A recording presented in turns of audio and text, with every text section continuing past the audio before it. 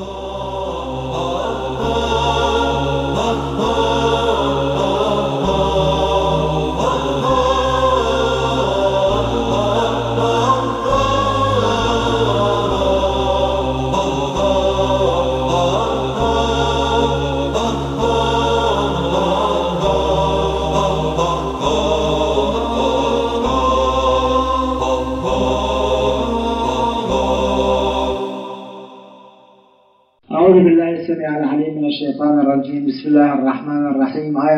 القرآن الحكيم. يا أيها الناس ضرب مثل فاستمعوا له. إن الذين تدعون من دون الله لن يخلقوا ذبابا ولو اجتمعوا له. وإن يسلبهم الذباب شيئا لا يستنقذوه منه. ضعف الطالب والمطلوب. الحياة ومكونات الحياة كلها بيد الله. الإنسان مهما بلغ قدره في العلم والقدرة والشخصية هذا الإنسان عاجز وضعيف وحقير أمام قدرة الله. يا أيها الناس ضرب مثل فاستمعوا له. إن الذين تدعون من دون الله لن يخلقوا ذبابا ولو اجتمعوا له. وإن يسلبهم الذباب شيئا لا يستنقذوه منه. ضعف الطالب والمطلوب. الإنسان قبل مليار من السنوات وبعد مليار من السنوات هذا المثل منطبق عليه ودليل على ضعفه وعدم قدرته ودليل على أن كل الأمور بيد الله ولذا يجب أن يتمسك بالله وأن يعمل في سبيل الله وأن يخاف من الله وأن يطلب من الله مهما كان عالما وقادرا وشخصية وذا منصب وذا عشيرة وذا قوة وذا سمو وارتفاع. إن الذين تدعون من دون الله لن يخلقوا ذبابا. هل يتمكن كل البشر أن يخلقوا ذباب؟ أبدا. البشر يصل إلى آفاق السماء. ويجوب في أقطار الأرض ويدخل في أعماق البحار ويصنع الشيء المدهش المحير من التكنولوجيا وغيره. لكن هل يتمكن أن يخلق الذبابة؟ مو معقول. هم يقولون يقولون إن الحياة سر معقد. لا يتمكن الإنسان من الوصول إلى هذا السر. الله اولا مثل هذا المثل. إن الذين تدعون من دون الله لن يخلقوا ذبابا هل كثر ذباب أكو في العالم بكثرة هائلة يومية؟ وهل كثر حيوان وحياة؟ وهل كثر من الطيور والأسماك والدواجن والبشر؟ لكن البشر عاجز عن أن يخلق حياة ولو صغيرة. ما يتمكن يخلق ذباب. لا ولا رجل ذباب. يتمكن يخلق رجل ذباب؟ في هيكله صحيح يتمكن. لكن في روحه يتمكن هذا الشيء؟ لن يخلقوا ذبابا ولو اجتمعوا له. يصير تعاون بين كل علماء العالم لخلق الذباب ما يتمكنون. بعدين الله يأتي إلى مثال أضعف وأقل. يقول وأن يسلبهم الذباب شيئا لا يستنقذوهم منه. إذا جلس الذباب على الطعام على سكر لنفرض. والتهم قطعة صغيرة من السكر. وتحولت هذه القطعة الصغيرة من السكر في بطن الذباب إلى محلول. أو تحول إلى دم.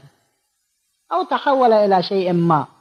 هل يتمكن كل البشر أن يقلبوا تلك القطعة من السكر إلى حالتها الأولية؟ يجعلوه سكرا بخواصه وخصوصياته ومزاياه؟ هذا مستحيل. وإن يسلبهم الذباب شيئا لا يستنقذوه منه. بعدين الله تعالى يقول البشر ومعبودات البشر كلهم ضعاف. ضعف الطالب والمطلوب يعني أنت الذي تطلب خلق الذباب والذباب المطلوب أنت الذي تطلب تحويل تلك القطعة من السكر إلى حالتها الأولية والذي تطلبه. كلاكما ضعيفان. يا أيها الناس ضرب مثل فاستمعوا له. إن الذين تدعون من دون الله لن يخلقوا ذبابا ولو اجتمعوا له. وإن يسلبهم الذباب شيئا لا يستنقذوه منه. ضعف الطالب والمطلوب هذا في الحياة. نأتي إلى الأصغر من الحياة. معامل كل الدنيا اشتغلت. في أن تخلق عدسة. عدس عدس هذا اللي نأكله. أرزة ما تمكنت. هيكل أرز يصير. هيكل عدس يصير. هيكل فول يصير. هيكل مثلا ماش يصير. هيكل حمص يصير. أما يعطي الخواص؟ أبدا ماكو هذا الشيء. يعني أنهم يخلقون حمصة إذا زرعتها نبتت. ماكو هذا الشيء. في سنة من السنوات في نيويورك شح الماء. عاصمة علم الدنيا والتكنولوجيا قبل تقريبا 15 سنة ما أشبه. شح الماء لأن مياههم من الآبار ومن الأمطار. قل المطر فشح الماء حتى خاف الناس على أنفسهم. راجعوا العلماء الناس السلطة هناك على أنكم الذين ملأتم العالم بالضوضاء بخلقكم السحب الاصطناعية. اجعلوا لنا علاج. ما تمكن كل العلماء في أن يخلقوا لهم كوب ماء كوب كوب, كوب شنو؟ قالوا أنتم ملأتم العالم بالعجيج والضجيج والإذاعات والصحف والتلفزيونات على أنكم تخلقون السحب الاصطناعية. هيدروجين موجود أكسجين موجود لأن المطر من شنو؟ من هيدروجين وأكسجين يعني الماء. وإمكانية التركيب عندكم بالقنابل الغازية.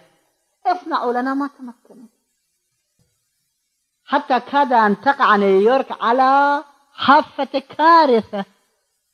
ونشرتها الصحف في يومها والإذاعات في يومها. كل شيء من الله. كل شيء. والبشر عاجز أمام الله عجزا مطلقا. لذا في الحقيقة نحن الذين نريد أن ننشر الإسلام والفضيلة والتقوى بين الناس يجب أن نتسلح بالتقوى. الخوف من الله الاتصال بالله. تفهم الكون. الذين غير مربوطين بالله هذا غير فاهمين. الإمام أمير المؤمنين يقول ما رأيت شيئا إلا رأيت الله قبله وبعده ومعه. رأيت الله يعني علمته. رأيت الله أكبر كل شيء. محاولة وأكثرهم جنودا. نحن الذين نريد نشر دعوة الله في الأرض نحتاج إلى أكبر قدر من الاتصال بالله والتواضع لله والخضوع لله والانقياد لله واستماع كلام الله. أكثر شيء نحن بحاجة إلى هذا الشيء. وفي الحقيقة أي دين من الأديان لأن نحن حملة الأديان وحملة الشيوعية والبعثية. القومية والمبادئ الغربية والشرقية. نحن مو حملة هذه المبادئ ولا نبشر بها وإنما نحن نبشر بشيء مربوط بالله. لهذا يجب علينا بالإضافة إلى القوى المادية التي يجب علينا أن نكملها بموازاتها وأكثر منها نرتبط بالله ونربط أنفسنا بالله. لأننا ندعو إلى تلك الجهة هذا لا شك فيه. وتلك الجهة بيده كل قوى الكون. أزمة الأمور طرا بيده والكل مستمدة من مدده. الكل الكافر والمؤمن والملحد والذي يقتل الأنبياء والأنبياء كلهم بمدد الله سبحانه وتعالى. نحن يجب أن نربط وسيلتنا إلى الله أكثر فأكثر. وهذا ليس بالادعاء. الأمور الدنيوية تصير بالادعاء ويصير زيف وخداع فيها. أما الأمور الارتباط بالله فإن الله سبحانه وتعالى يا موسى أخلص العمل فإن الناقد بصير بصير. كثر أنت مربوط بالله؟ الله يعرف حتى الذرة وأصغر من الذرة. في أن ارتباطك بالله كم؟ ومو فقط للآخرة حتى للدنيا. إذا إنسان كان مرتبط بالله بطبيعة الأمر أن ارتباطه بالله يهيئ له من أمره رشدا. هذا لا شك فيه.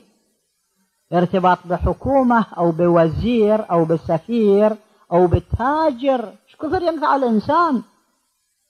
فالارتباط بالله الذي بيده قوى الكون. لكن نحن مو مرتبطين في الحقيقة. نحن مرتبطون سطحيا في صلاة وصيام وهذا ما يفعله كل عامي كل مسلم. أما ارتباطا متزايدا بالله وتقوى من الله وخوفا من الله وحضورا أمام الله واستمدادا من الله هذا هو الشيء الذي يجب أن نوفره في أنفسنا. إذا أردنا الدعوة إلى الله حقا وصدقا الشيخ محمد تقي قائد ثورة العشرين وأنا أوصل الأصدقاء كلهم بقراءة كتاب الحقائق الناصعة مجلدان. وفي الحقيقة إذا صارت عندي إمكانية أنا كنت أطبع الكتاب لأن هذا الكتاب يرينا كيف أن رجلا في ذلك اليوم تمكن أن يقاوم مستعمرين وراءهم ألف مليون وليس عندهم سلاح ومع المستعمر كل سلاح. في الحقيقة هذا شيء مدهش وشيء معجز. لا أقصد معجز كعاجز الأنبياء أقصد ككرامات الأولياء. مجلدان طبع من أول الثورة إلى موت الشيخ محمد تقي الشيرازي الله يرحمه الذي إليه يرجع الفضل في استقلال العراق عن الاستعمار البريطاني العسكري. لأنهم أخرجوا البريطانيين من العراق بكل صراحة. ولو أنه الاقتصاد البريطاني بقي في العراق وما أشبه لكن الاستعمار العسكري خرج عن العراق. وهذا كان شيء له مكانته المهمة. بينما جمال عبد الناصر وفي زمانه كما يقولون تمكنوا من إخراج الاستعمار العسكري من مصر قبل في سنة 52 أو ما أشبه. كل هالاستقلالات تقريبا استقلالات متأخرة عن استقلال العراق. استقلال العراق في سنة الأربعين الهجرية أو العشرين الميلادية. يعني قبل كم؟ قبل ما يقارب خمسين سنة. أنا شفت في أحوال هذا الرجل في الحقيقة اتصال بالله غريب. أحواله المنقولة لنا نقليا. وأنا أعزو في الحقيقة تمكنه وظفره على الإنجليز بهذا الاتصال الهائل بالله. فرد واحد من أصدقاء شيخ محمد تقي من الشيب الكبار وكان مقسما له من التجار المقسمين له. يعني مقسم للشيخ محمد تقي الشيرازي. هو نقل لي هالقصة وتوفي الله يرحمه أيضا. فرد تاجر كان قال على أنه هذا كان زاهد في حياته حسب هو ما ينقل. يقول زاهد في حياته في أكله في لباسه في شربه دار صغيرة عنده وهو يقود ثورة من أكبر الثورات في زمانه. يقول على أنه وأنا كنت أقسم له المال. يقول كان عنده فرد غرفة برانية وبيت داره وقف إلى أن توفي داره وقف ما اشترى الدار أصلا وما كان يملك دارا مع العلم أنه مثل السيل لأن المرجع الأعلى للشيعة في زمانه كان. كان يأتيه الفلوس. يقول ذات مرة رحت أنا أريد عنده شغل. يقول حتى خادم ما عنده وهو يقود ثورة خادم ما عنده. يقول ذهبت إلى داره مغرب كان. بعد المغرب. أريد ملاقاته. شفت كل أحد ماكو في البيت وأنا هذه فوق يقعد.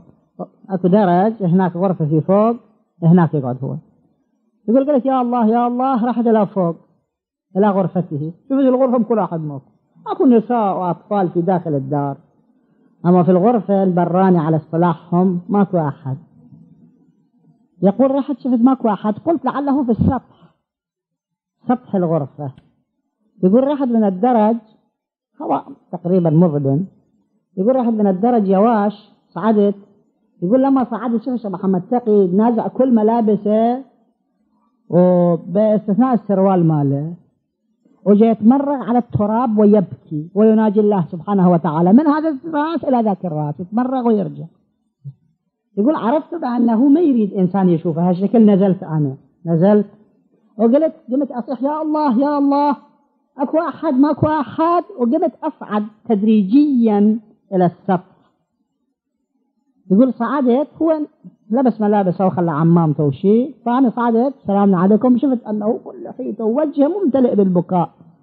ووحده قاعد على القاع قاعد هالشكل. يعني هالشكل اللي أنا شفته كعلن كسر شفته. واضعه قال ها أمر شيء قلت على أنه 3000 ليرة أكو عندي فلوس جايني. شنو أسوي؟ قال نص يعطي خبز للطلبة ونص يعطي للفقراء خبز. هو هذا التاجر كان ينقل يقول أنا من زمان إلى هسه ما شفت هالشكل عالم. هو يقود أكبر ثورة في زمانه وهو بهالبساطة يعيش وهالاتصال بالله سبحانه وتعالى. التقوى لها مدخليتها على شرط أن الإنسان يتسلح بها. والتقوى ليس شيئا ظاهرا وسطحيا وتشريفيا شيء بين الإنسان وبين الله. ويمكن تقوية هذا الشيء ويمكن تضعيف هذا الشيء. مثل سائر أشياء الدنيا. من الممكن أن تكون أنت تاجرا كبيرا وأنت تاجرا صغيرا. من الممكن أن تكون شجاعا كبيرا وأن تكون شجاعا عاديا. من الممكن أن تكون متقيا أن تصلي وتصوم ومن الممكن أن تكون متقيا تقوى أبي ذر. ومقداد وسلمان لأن هؤلاء أيضا بشر ولم يكونوا معصومين. وكانت لهم التقوى وبتقواهم وصلوا. وحتى مطالب الدنيا لا تكون إلا بالاتصال بالله. إلا نحن في طريق الله. من الممكن أن الإنسان يصير كافر لكن هذا مو مربوط بالله. يأكلون كما تأكل الأنعام. والنار مثوى لهم. الله يمثل قسم من الناس هكذا مثال. لكن أنت تريد الدعوة إلى الله والهداية إلى الله وحمل رسالة السماء هذا شيء من أشكل الأمور. لأنه طريق الأنبياء لأنه طريق الأئمة لأنه طريق المعصومين لأنه طريق الصادقين لأنه طريق الصديقين. صديق يعني شنو؟ يعني أنت تريد في هذا السبيل تسلك وفي هذا السبيل تمشي. مو أن تريد في سبيل الطواغيت أو سبيل أهل الدنيا أو سبيل أهل المال والجاه أو سبيل الملوك والسلاطين. لا هذا مو هذا السبيل. في أحوال أصحاب الكهف المشهور في القرآن الحكيم هذول كانوا وزراء الملك دقيانوس إنهم فتية آمنوا بربهم وزدناهم هدى. وربطنا على قلوبهم إذ قاموا فقالوا إلى آخر الآيات في أحوالهم في تفسير حقيقة هذول رجال جدا عجيبين. هذول خرجوا عن الملك وعن السلطة وعن الأبهة والشخصية والمناصب. خرجوا يريدون الفرار من دقيانوس. دقيانوس ذلك اليوم مثله مثل برجنيف في بلاده كبت وإرهاب أكو وكل إنسان يدعو إلى الله يقتل. ففروا من هؤلاء. فرارا بدينهم إلى داخل الكهف يبقون هناك حتى يصبحوا ماذا مصيرهم في المستقبل. لما خرجوا من المدينة تحت جناح الظلام قال لهم أحدهم أيها الإخوة إننا كنا مربوطين بالدنيا والآن ارتبطنا بالله وكنا متكبرين الآن صرنا متواضعين. فالواجب علينا أن نخلع من أنفسنا ملابس أهل الدنيا. ويجب علينا أن نرفع من رؤوسنا التيجان ونقذف النياشين ونمشي حافيا أمام الله. وهكذا صنعوا. في قصة طويلة مذكورة في التفاسير. ولهذا الله قبلهم إنهم فتية آمنوا بربهم وزدناهم هدى. الإنسان المرتبط بالله غير المرتبط بالدنيا أو بالأمور العادية. حتى إذا كنا أكبر الملوك. ما فائدة الملك وما فائدة الشخصية وما فائدة المال وما فائدة العزة والجاه. الإمام أمير المؤمنين وصدق وهذه صفة كل إنسان مربوط بالله.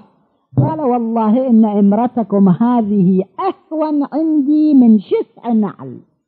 إلا أن أقيم حقا أو أدفع باطلا. نحن في طريق هؤلاء.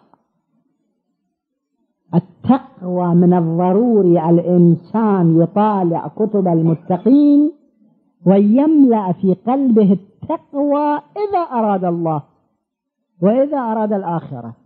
وإذا أراد المسير وحتى إذا أراد تقويم الناس الله لا يعطي تقويم الناس بيد أي إنسان أبدا. إن الله يعطي تقويم الناس بيد الأناس الذين هم مربوطون به.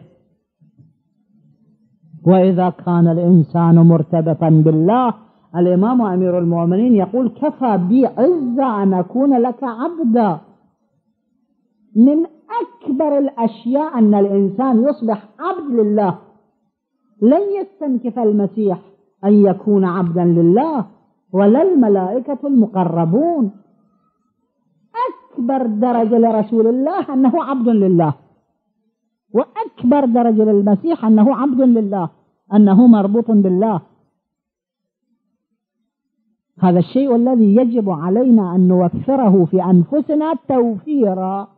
وإلا عطلنا أنفسنا وذهبت الدنيا وكنا للناس ولأنفسنا مخادعين. لا أكثر ولا أقل من هذا. في فتح قسطنطينية الحقيقة من الضروري قراءة أحوال المسلمين الأولين. الحقيقة في أحوال هؤلاء فرد عبر وعظات هائلة. أخص بالذكر ثلاث كتب طالعوها في تزييد التقوى مواعظ البحار. ومجموعة الورام. هذا جد سيد ابن طاووس هذا من كتب الزهد. الكتاب الثالث اللآلي للتوتركاني إذن الكتب الثلاث يزيد الإنسان عبرة وزهدا وإقبالا على الله ويتمكن الإنسان بسبب هذه الكتب أن يملأ نفسه من خوف الله وتقوى الله واتباع أمره والسير في سبيله وقذف حب الدنيا من قلبه. أكو في حديث عن الله سبحانه وتعالى مضمون الحديث يقول إن حبي وحب الدنيا لا يجتمعان في قلب. يعني حب الله مع حب الدنيا لا يجتمع في قلب. فماذا نعمل بالدنيا؟ الدنيا قنطرة. أنت إذا مررت على قنطرة هائلة أو ركبت طائرة جميلة هل ترتبط بهذه الطائرة؟ أبدا طريق. خلاص. وأنت إذا ذهبت إلى روضة الأطفال ورأيت عشرة آلاف طفل من أجمل ما يكون هل يتعلق قلبك بهم أبدا؟ وإنما يتعلق قلبك بطفلك أكثر من كل هؤلاء.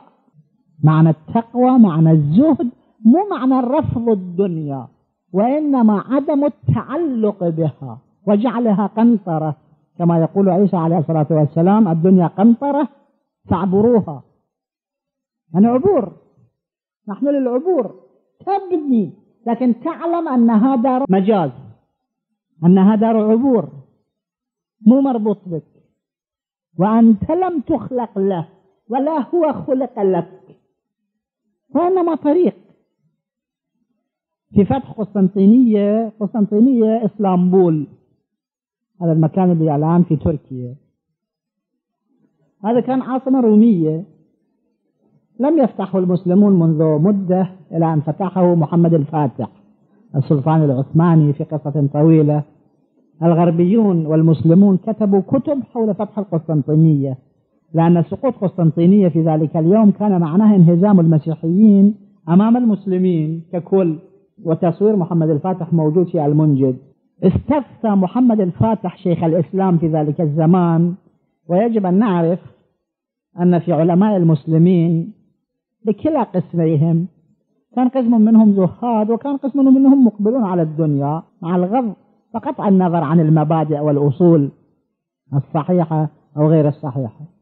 استفتى محمد الفاتح عن شيخ الإسلام في قصة طويلة مذكورة في فتح قسطنطينية أنه هل نهاجم اليوم؟ قال نعم هاجموا إنكم منصورون إن شاء الله. فهاجموا وما انتصروا. قالوا له كيف قلت؟ قال في الحقيقة هذا ذنبي مو ذنبكم. قالوا كيف؟ قال لأني تواضعي لله ما كانت البارحة بالقدر المناسب. وإن شاء الله هذه الليلة أتواضع لله حتى الله يمنحنا النصر فذهب في الليل إلى خيمته لأنهم في صحراء إلى خيمته وبكي من أول الليل إلى الصباح إلى الله. وطلب من الله النصر. وإذا غدا ينتصرون يفتحون المدينة. هذا واقع. الواقع أن الأمور بيد الله. كل الأمور صغيرها وكبيرها جليلها وحقيرها. نفسك بيد الله. تنفس مشيك بيد الله. قدرتك بيد الله. إرادتك بيد الله. كل شيء بيد الله.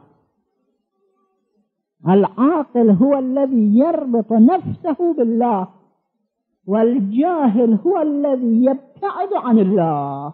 لا مسألة الرياء والسمعة والمظاهر وما أشبه مسألة ربط القلب بالله. وأن الراحل إليك قريب المسافة. في أحد الأدعية. في الحقيقة هذا كتاب المفاتيح وأدعيته وكل أدعيتنا. من أجمل الأدعية أو أجمل الأدعية. صحيفة السجادية وغيرها وأن الراحل إليك من كلام الإمام السجاد في الصحيفة السجادية قريب المسافة. يا الله وصل إلى الله. سئل عن الإمام أمير المؤمنين كم الفاصل بين السماء والأرض؟ قال تأوه مظلوم. الإمام أراد بيانا معنويا لذلك. تأوه مظلوم. الله قريب وقال ربكم ادعوني أستجب لكم.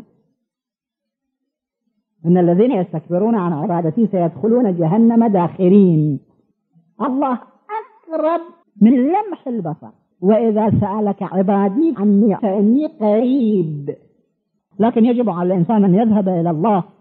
غاندي يقول في كتابه قصة التجارب مع الحقيقة. يقول هناك في قصة طويلة ما علينا بالقصة. يقول إحنا كنا مسوين فرد أشرم على الصداقة. أشرم يعني قرى صغيرة. حتى نجمع فيها الناس المختلفين الضعفاء والفقراء ونقوم بشؤونهم ونعلمهم مبادئ الديمقراطية والتعاون قبل ثورته المشهورة. يقول أنه كنا مسوين فرد قرية وجمعنا فيه ما أدري كم كمية جدا كبيرة من النساء والرجال وما أشبه وكنا ننظف نفوسهم وننظف أخلاقهم وننظف أبدانهم ونعلمهم القراءة والكتابة وفي الحقيقة فرد عمل شاق صعب الإنسان يجب أن يقرأ هذه القصة. مو أنه تحرير الهند لا هذا قبل تحرير الهند. فهم يزرعون وهم يطبخون وهم يطحنون وهم يكنسون وهم ينسجون وهم يغزلون وهم كل شيء هم يقومون به. يقول أنه ذات مرة إحدى النساء زنت في القرية هو يقول في كتابه. يقول اجتمع أهل القرية وقالوا أنه يجب علينا أن نأخذها نقتلها أحد الأشياء. يقول قلت لهم لا. هذه ليست مذنبة وإنما أنا المذنب. الغامدي قالوا كيف؟ قلت لأن النفس إذا ما كانت نظيفة مجتمعي لا يكون نظيفا. وأن نفسي إذا كانت نظيفة مجتمعي كان يكون نظيفا. لأن أنا رئيس الأشرم وأنا بنيت الأشرم. قلنا فكيف تصنع؟ قال أصوم. حتى أطهر نفسي ويؤثر تطهيري في المجتمع. يقول صمت 13 يوم في ذهني. 13 يوم يعني متصل في صومهم هم وصالحهم هم. يقول صمت 13 يوم وبعد ذلك هذا صومي أثر في كل هؤلاء فطهروا وعرفوا أن الزنا واحد في قريتنا معناه تعريض حياتي إلى الخطر. لأن الإنسان 13 يوم يصوم يعني يموت. و 13 يوم يصوم لكن كان يشرب الماء لعلمكم. مو أنه ما يشرب الماء. يقول فكان هذا السبب سبب طهارة القرية وأنهم ما عملوا شيئا بعد ذلك لأن كلهم عرفوا أن أي انحراف أخلاقي معناه يمكن أن يوجب حياتي أنا. يذكر قصتها المفصلة هنا. المهم أن الإنسان الذي يريد الدعوة إلى الله وهداية الناس هذا مو قصة سلطان وملك وإمارة وفلوس وشخصية وشهرة وإذاعات اسم وتلفزيونات. لا لا أبدا. مهم مش كثر قربك إلى الله. وبقدر قربك تكون خدمته هذا هو. لا شك فيه. لكن لتعرف الله. إذا عرفنا الله سبحانه وتعالى تمكنا من التقدم. أكو أحد علماء في أصفهان إن شاء الله إذا رحتوا إلى أصفهان زوروا هذا العالم. هذا العالم أظن قبل 150 سنة 200 سنة هالحوالي حجة الإسلام الشفتي السيد محمد باقر. له قبة ومزار ويزار كما يزار الإمام الحسين إلى اليوم. هذا كان مرجع ديني وحاكم عام إصفهان. مو عن قبل الحكومة حاكم عامها. لأن الحكم كان بيد العلماء فهو الحاكم العام. وهو من المجتهدين والمراجع ومن الزهاد والعباد. يقولون قيل له هذه القصة يذكرها قصة العلماء قيل له أن فلانا سرق. قال إيش وقت سرق؟ قالوا قريب السحر. قال عجيب أكو في إصفهان إنسان ما يصلي صلاة الليل ويروح يسرق؟ راجعوا قصته شوفوا. أن طهارته كم كانت مؤثرة لقلب أهل إصفهان حتى هو يتعجب أن هناك أكو إنسان ما يصلي صلاة الليل ويسرق. في أحواله يذكرون يقولون هذا من كان يصير الليل من نصف الليل أنه يقوم ويصلي ويتهجد ويبكي إلى الصباح بكاء فرد إنسان الذي مات أعز أصدقائه. وهو شايب وإلى الآن أحفاده موجودين. أنا شفت أحفاده ما زرت مزاره الآن. أنا ما ذاهب إلى إيران. فيقول على أنه جاءوا إليه بأطباء لأنه أصابه الأدرة يعني جروة لأن الإنسان إذا بكى كثيرا يصيبه الأدرة. فجاء إليه بأطباء وقال له أنه يجب عليك العملية لأن هذه العملية بسيطة من القديم كانت تصنع هذه العملية لأن عبارة عن شق وإخراج شيء زائد ثم خياطته مع تبنيج. تبنيج موضعي أو تبنيج كل. صنعوا له هذا الشيء. ثم قالوا له على شرط أنه لازم أسبوع بعد ما تبكي بالليالي لأن هذا يرجع الفتح. قال لا أتمكن هذا مو بيدي واقع. قال أنا من يصير الليل؟ ما أعرف شيء إلا النار والجنة. والله وهو كان حاكم عام ومرجع عام في إصفهان وقبره مزار كمزارات الأئمة إلى اليوم. وينقلون عنه الكرامات بعد وفاته. طبيعي هذا له كرامات.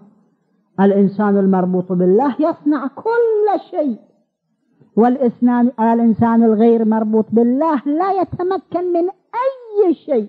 حتى الشيء الذي يتمكن من شيء محدود مؤقت في إطار خاص وبشرائط خاصة. إننا بحاجة إلى الارتباط بالله من أعماقنا مو أنه خجلا أو دجلا أو روتينا أو وظيفة أو صورة إذا ارتبطنا بالله هذا الارتباط ومو معنى الإنسان المرتبط بالله أن لا يضحك أو لا يأكل أو لا ينام أو لا يعيش كسائر الناس. يقول في وصف الإمام أمير المؤمنين الناشئ هو البكاء في المحراب ليلا هو الضحاك إذا اشتد ضراب مو معناه أنت من أهل الدنيا لكن قلبك مربوط بمكان آخر. أنت من أهل الدنيا وتأكل وقالوا ما لهذا الرسول يأكل الطعام ويمشي في الأسواق. كانوا يتزوجون وكانوا يعاشرون وكانوا يباشرون.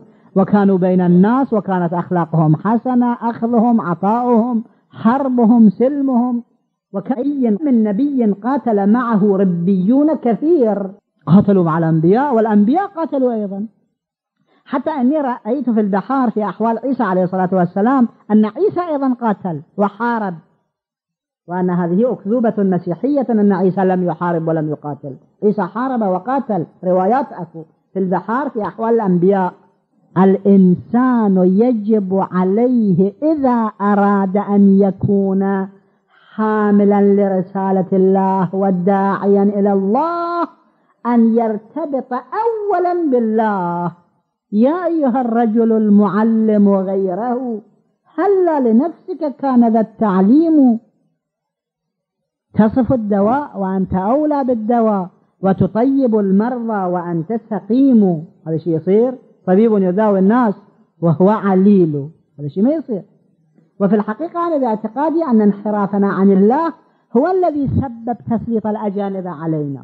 وفي أي يوم اتصلنا بالله وارتبطنا بالله من جديد وسمعنا كلام الله في قلوبنا وفي أعمالنا ذاك اليوم الله يرجع إلينا. يا أيها الناس ضرب مثل فاستمعوا له. إن الذين تدعون من دون الله لن يخلقوا ذبابا ولو اجتمعوا له. وأن يسلبهم الذباب شيئا لا يستنقذوه منه. ضعف الطالب والمطلوب. ما قدر الله حق قدره. تتمة الآية. والآية الثانية. يقول هؤلاء ما يعرفون الله. ما قدر الله حق قدره. وأنه شنو من قوة وشنو من قدرة. وشنو من علم وشنو من إرادة وشنو من إمكانية وشنو من طاقة. لو كان الإنسان يعرف الله في الحقيقة ما ذهب إلى أي مكان إلا إلى الله. اللهم إن قلوب المخبتين إليك والهة وسبل الراغبين إليك شارعة وأعلام القاصدين إليك واضحة. وأفئدة العارفين منك فازعة وأصوات الداعين إليك صاعدة وأبواب الإجابة لهم مفتحة ودعوة من ناجاك مستجابة وتوبة من أناب إليك مقبولة وعبرة من بكى من خوفك مرحومة. يعني ترحم هذه العبرة يا راحم العبرات. ونسأل الله أن يوفقنا جميعا لما يحب ويرضى. Mm-hmm.